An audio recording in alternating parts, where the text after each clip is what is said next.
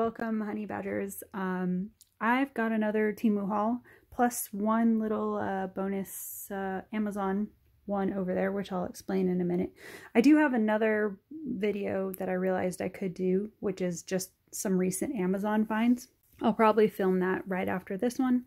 Um, but I figured the thing with diamond paintings is if I'm going to do hauls, I should probably film them and get them uploaded because canvases tend to rotate in stock and go in and out of stock pretty quickly with different companies.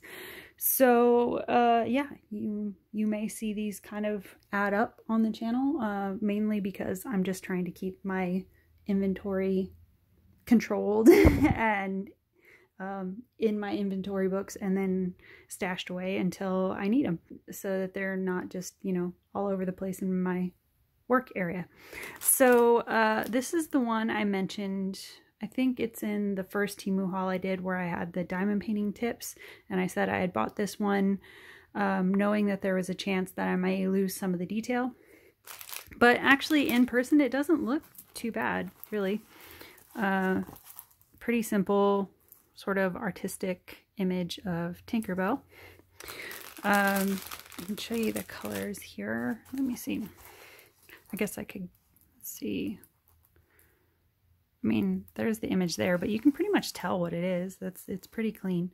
Uh, it does come with DMC codes, looks like. I don't do the whole, like, when I see um, uh, diamond painters pull up the thing and do, oh yeah, it's sticky. I just assume it's going to be sticky. um, I don't really like sticking my finger on the canvas and putting an imprint on the canvas before I've even worked on it. Um, if the glue field sucks on these things, you'll know about it because I'll put it in the uh, post-completion blog post reviews. Whenever I finish one, uh, I always link when you see like the the completion reels, I always link the blog post where I talk about anything I noted about the canvas, whether it's the drills were good or bad, or if the glue filled was not great, if there was an issue with key, anything I run into like that, it's all going to be in the completion blog posts that I link on the completion reels as I finish these. So just side note. Um, but yeah, that one looks pretty good. I'm excited about the green. Um, for those of you that, that don't know, uh, green is my, like pretty much any shade of green is my favorite color. So whenever I get to work on canvases that feature a lot of it, I'm happy. um, so yeah, a look at the drills here. I mean, you can kind of see basically it's, you know, going to be a dark background with some purples, green obviously, uh, some probably light whites and grays and around the moon, some blonde colors for her hair. So any of you that have seen some of my completion reviews, see, like, as a redhead, I don't discriminate. I do do blondes sometimes. um, so, yeah, uh, there's probably the color for her hair.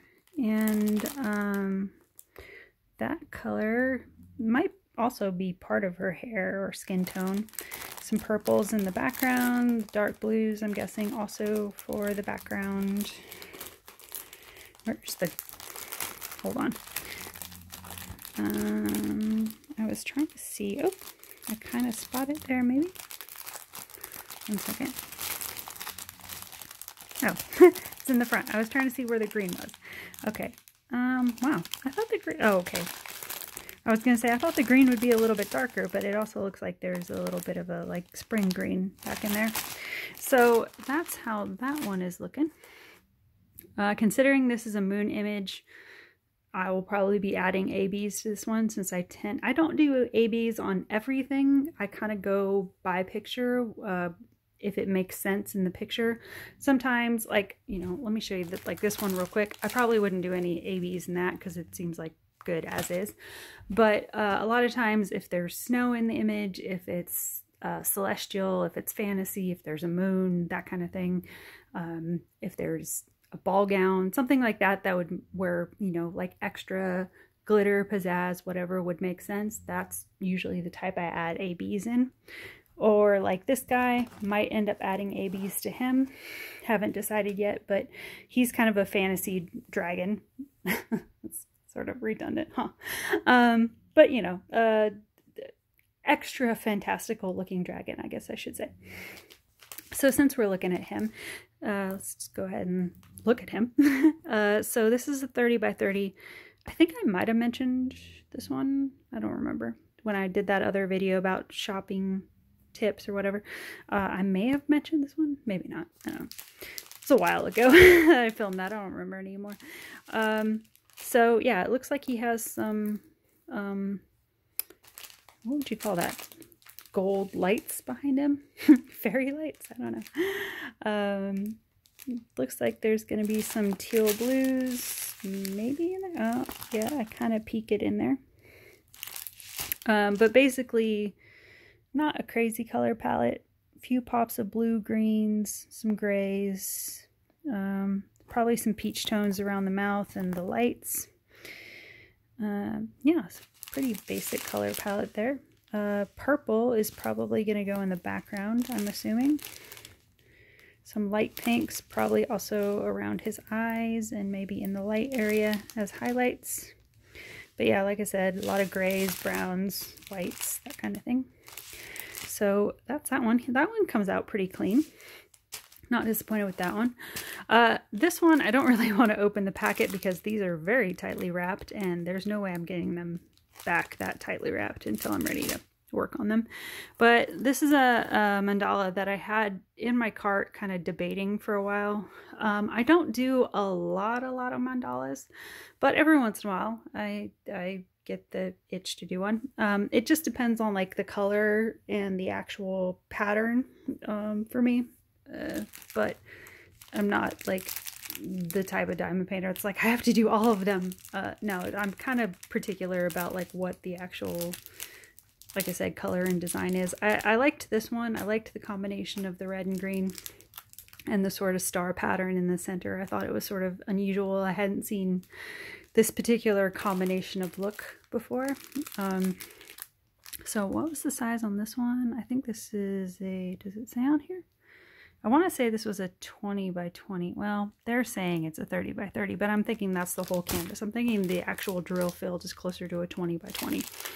Uh, but yeah, you can kind of see that on this one too, what the general color palette is going to be. Some greens, um, like you can see here, some um, darker greens, a little bit of army green, some yellows, some burgundies, um, looks like some neutral pinks, so yeah, there's that one. And then this lion one I showed a minute ago. This was another risk I took because, uh, you know, I mentioned, oh, here, it says 20 by 20. Again, this one I'm guessing is closer, as far as drill field, is probably closer to a 15 by 15. in the canvas itself is probably 20 by 20, but the drill field is 15 by 15, I'm guessing. Um, but I decided to take a risk on this because, one, the color palette is just fun because it's a rainbow lion. And also the price, it was like a dollar or something, I think, when I eventually bought it. So I figured, yeah, what the hell, for like basically a dollar canvas, we can see what happens. Uh, it looks pretty clear like this. It could come out decent. Uh, the one thing I would be worried about is how his eyes are going to turn out. Everything else I think is going to be fine, but I'm a little bit concerned about how clear the definition around his eyes are going to come out uh, once you put drills on them. It could be a little bit iffy, but I figured for a dollar, it's worth an experiment. Um, if nothing else, it'll just come out as a really colorful, sort of impressionistic piece, I guess. But yeah, just totally forgot to talk about the color palette. Um, but yeah, you can see like uh, colors there. So some pinks, some sort of aqua greens, light pink back there. There's some yellows. That looks like a bright pink in there.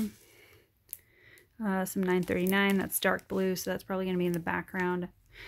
Uh, some more greens and pinks. So yeah, should be colorful to say the least. And then I just got uh, a simple daisy one, uh, simply because I like daisies. Uh, they're not my favorite flower. Uh, feel free to make a comment down below if you think you can guess what my favorite flower is. I will give you a hint. It is a white flower, typically. I don't think I've seen it in any other color except white. Um, but yeah, it's not daisies. And I will say it's not roses. I know you've probably seen me do a lot of rose pattern DPs if you've been following me on either here or Instagram. I do like roses, but roses are not my favorite. So feel free to guess down below what you think my favorite flower might be. Anyway, uh, again, this is pretty straightforward color palette, blue, white, green, a little bit of goldenrod, I'm assuming. Uh, some gray for the shading areas, little bit of brown for the stem areas. That looks like that might be that like sort of minty white green in there. That's kind of nice. Um, that bright pop of orange, I'm guessing is going around the center part there. But yeah, basically like a lot of blues for the skies. Um, I mainly got it, you know, also not only for being daisies, but also because uh, I just tend to like the combination of blue next to white. I just like the freshness look of it. So that's what that palette looks like. It also came with a little bit of an inventory sheet. You can see it did come with the DMC codes. I don't think this is a sticker. I think this is just piece of paper they printed out, but yeah, you can see the original image there. Uh, pretty simple, but I think it'll be really cute and sort of fresh looking when it's done. So let me move these out of the way and then I'll show you what's going on with these two over here. Okay, so I originally bought this one off of Temu, uh, this lighthouse scene, because it's another thing. It's growing up in San Diego, I have a thing about lighthouses because uh, San Diego has one of the most unique lighthouses I've ever seen. On um, if you look up the original Point Loma lighthouse, it's not the one. It wasn't used for very long historically, um, but the sh actual shape of it is pretty unique for a lighthouse. If you look up the original one, because they ended up, if you're interested in the history at all, real quick, um, basically they put the original Point Loma lighthouse on this one area of a cliff and then they realized it wasn't really sitting quite right to service properly as or decently as a lighthouse as they wanted. So they ended up putting it further down the cove uh, building a different one and putting it further down the cove and making it taller and all this stuff. But the original point loma lighthouse which has a state park and everything built around it now uh, is similar to this sort of rock style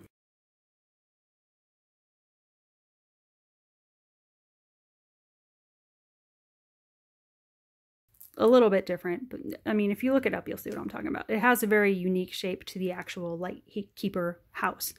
So growing up with that, I had I developed a thing for lighthouses. um, so uh, I found this one, which I thought was pretty cool. This was another one I was a little bit concerned about, but I thought the detail was minimal enough uh, that I could probably get away with doing it in the 30 by 40. Sometimes with waves, you got to be a little bit careful because um, waves and waterfalls, that kind of thing, can be deceptive with diamond painting. They look simple enough, but it's actually a little bit better as far as getting fine detail in like a wave curl or color variation to go a little bit bigger to really get like a fine clean look on a wave but sometimes with uh, 30 by 40s, you can get it close enough to where it, still looks nice.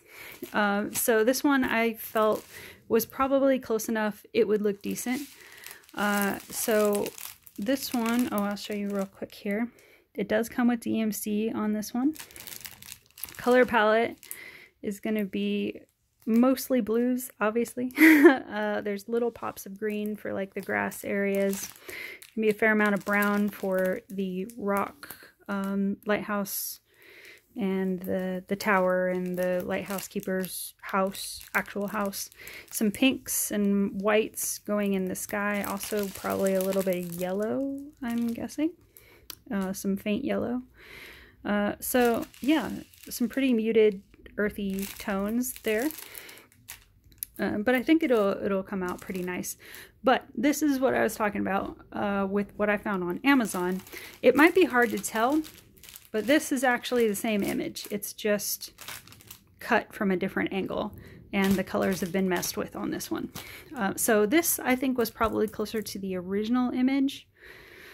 I think this one, a different company made it, and what they probably did was mess with the settings.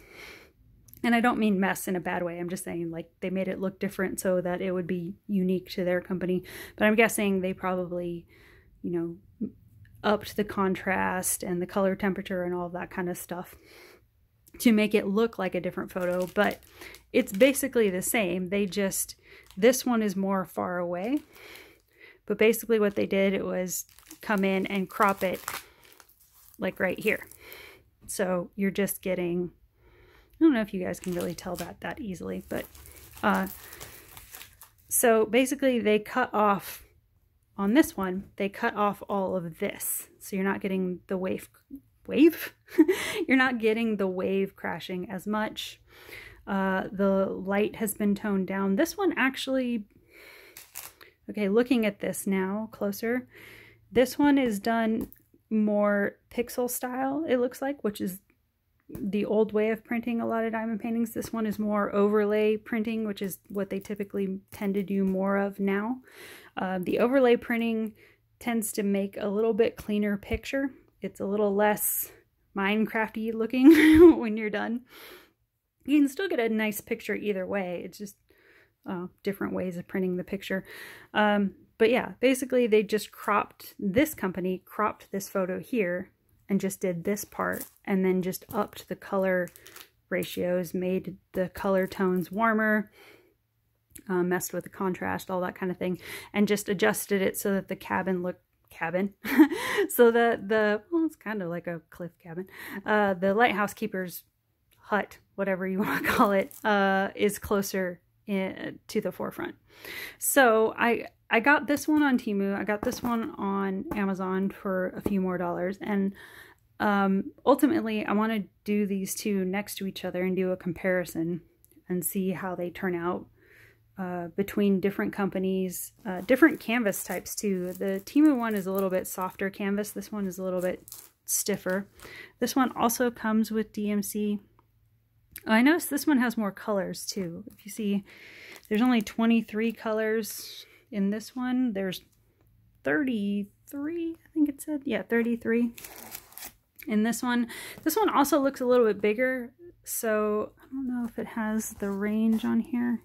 Okay, yeah, that's what I thought. See, it says uh, 35 by 45, so I was wondering why this one looked a little bit bigger. This is what a true 30 by 40 canvas, as far as like the entire drill field is 30 by 40, that's what it should look like.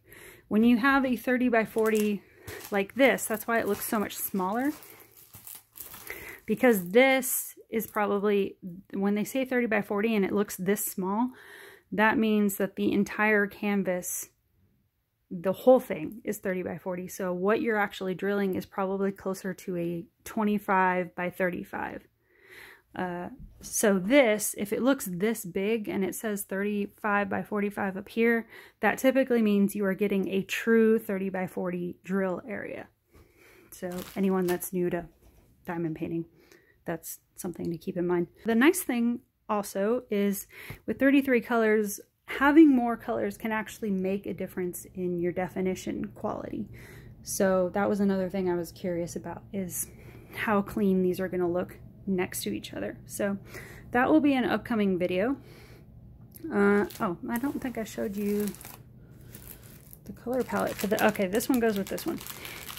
So this is the Temu version. You can see it's a lot more muted, a lot more like, you know, I don't want to say pastel, but like, you know, sort of sun going down at the beach kind of colors. This one is a lot more closer to almost primary colors, which also caught my curiosity. Um, it's, I, I kind of wonder because uh, even though it's the same picture, I kind of wonder if this is going to resemble more the coastline I grew up with, uh, with what, what sunset at the beach tends to look like versus like, I don't know, what sunset in Ireland, I assume, must look like with a lot brighter green. Uh, so, I don't know, that was another thing I was kind of curious about. But you can see it's a lot brighter peach tones for the skies, a lot brighter browns. um, blues. It looks like they both come with 939. I'm guessing that's for shading around the roof lines and stuff. But yeah, that green versus the more like army green in here. So I don't know. It should be an interesting little, another little test video I plan to do at some point. Uh, so yeah, that's what I have for this one. Uh, I will link all this stuff down below and also the Amazon one if it's still available if you're curious to try it uh, yourself. And I will get off here and then film the Amazon one of the other Amazon finds I've found recently. So stay tuned. Bye guys!